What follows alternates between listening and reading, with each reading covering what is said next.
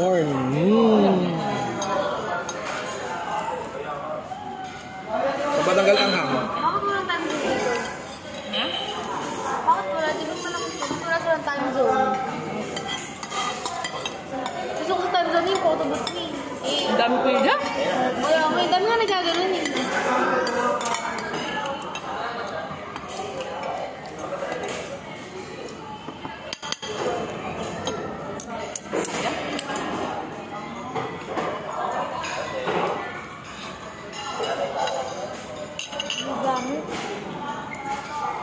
Ate. Royal.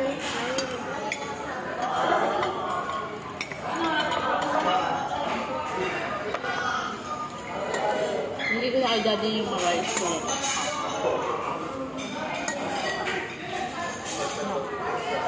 Na, size XL na ako. Kasi hindi ko na ako spaghetti. Ito maganda oh. Right.